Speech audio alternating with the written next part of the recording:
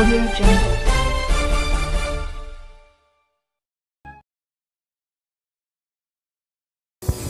NEET परीक्षा में मऊ के बुनकर के लड़के ने लहराया परचम। नीट की परीक्षा पास कर मऊ का नाम किया रोशन। जी हाँ किसी भी तरक्की को पाने के लिए या बुलंदी की ऊंचाई को पाने के लिए जोश, जुनून और जज्बा है। है तो सारी खुशी आपको मिलेंगी। ये कहना है उमर फारूक का। सचमुच मऊ नगर के युवा नवयुवक ने नीट 2020 की परीक्षा में सफलता अर्जित कर न केवल का नाम रोशन किया है, बल्कि यह सिद्ध भी कर दिया है कि व्यक्ति में उत्साह साहस और परिस्थितियों में भी सफलता अर्जित की जा सकती है। उमर फारूक ने नीट की परीक्षा में सफलता हासिल कर बुनकर समाज और व्यापारी समुदाय का मान बढ़ाया है। वही वही उमर फारूक ने अपनी सफलता का सारा से अल्लाह एवं अपने स्वर्गीय माँ पिता एवं कोचिंग पढ़ाने वालों को दिया है। उमर के फारूक के घर पर बधाई देने वालों का तांता लगा हुआ है। मैं उमर फारूक अं- अंसारी हकीम अरशद अली अंसारी मेरे वालिद साहब हैं और हकीम हाजी मोहम्मद इकबाल अहमद अंसारी मेरे दादा हैं। ट्वेंटी ट्वेंटी में A I R two eighty three हासिल की और जनरल कैटेगरी में और ओ बी सी कैटेगरी में A I R sixty five है ऑल इंडिया हाँ जिस दिन एग्ज़ाम हुआ, उसी दिन मतलब कि पता चल गया मतलब जोड़ने से अंदाज तो हो ही जाता है कितना आ रहा है तो। उसी से उम्मीद थी कि इतना आएगा। यहाँ तक पहुँचू आगे अब जहाँ भी सिलेक्शन होता है, वहाँ पर एम बी बी एस की पढ़ाई करनी है और फिर उसके बाद वही न्यूरो सर्जन हाँ गरीबों की सेवा तो एकदम ज़रूर से करूँगा बिल्कुल इसका श्रेय मैं अपने अबू जान को अपने कोचिंग वाले को और यहाँ पर इकबाल पब्लिक स्कूल जहाँ से मैं जहाँ तक एट्थ तक पढ़ा वहाँ पर और बाकी अपने फैमिली मेंबर्स को और बहुत सारे लोगों को जिन्होंने ले पाएँगे। मतलब अ, किसी भी तरक्की को पाने के लिए अगर तरक्की चाहिए या किसी भी बुलंदी को पाने के लिए ये नहीं कि कोई बहाना अगर बना लेंगे तो तो नहीं। अगर गरीबी है तो भी उससे उसमें कोई असर नहीं पड़ेगा। अगर जोश और जुनून और जज्बा है अगर तो वो मिलेगा हर हाल।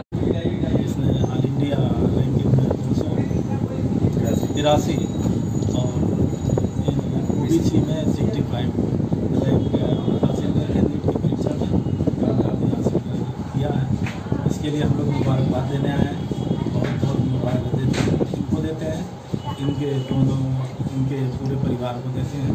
इसलिए भी बगैर परिवार के सपोर्ट के कोई कामयाब नहीं होता।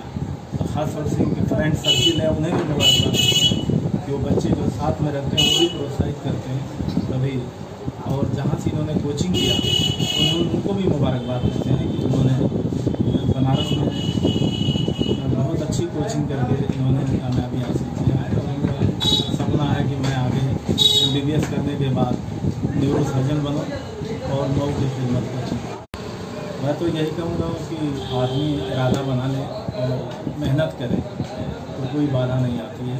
और कामयाबी हासिल होती है। तो इसी सभी बच्चों से मैं कहूँगा कि आप इरादा बनाएँ और लक्ष्य को हासिल करने के लिए कड़ी मेहनत करें। इन कामयाबी आपके कदम चलेगी।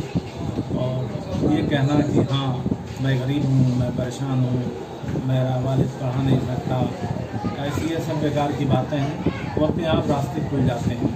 ये भी लड़का जो बहुत पैसे वाला नहीं है, ये गाँव बुनकर घराने का लड़का है और इसने कामयाबी हासिल की और इसने खुद इसके रास्ते बनते गए। बहुत अच्छी पोजीशन थी कोचिंग में तो इन्हें फ्री कोचिंग पूरी इलाजिंग फूडिंग सब इनको प्रोवाइड हो गई वहाँ से इसी तरह अगर अच्छा पढ़ने में होगा तो कहीं कहीं रास्ता नहीं कामयाबी मिलती है?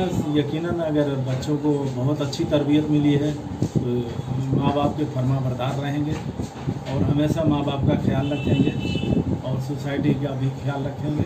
तो मैं ये समझता हूँ कि संस्कार अगर अच्छा दिए हैं तो हमेशा संस्कार का आए मिसाल है इस लड़के का कि सभी बच्चे जो सोचते हैं कि हम नहीं पढ़ पाएँगे, हम नहीं कर पाएँगे, उन्हें हौसला होना चाहिए। और हर तरह के एग्ज़ाम में बैठना चाहिए जो एक अपना लक्ष्य निर्धारित करें और उसको कड़ी मेहनत करके उसको हासिल करना चाहिए। हाँ बहुत मुश्किल से इन्होंने मतलब तालीम हासिल किया है प्लस इन्होंने मेहनत भी बहुत किया है।